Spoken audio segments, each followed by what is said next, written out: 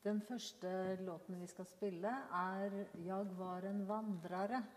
Og den fant vi ut for kort tid siden at vi likte veldig godt, eh, begge to. Er, den er skrevet av Gøran Fristorp, og han eh, synger den på en plate som kom ut for lenge siden. Eh, vi syns det er en veldig fin melodi som vi har lyst til å dele med dere.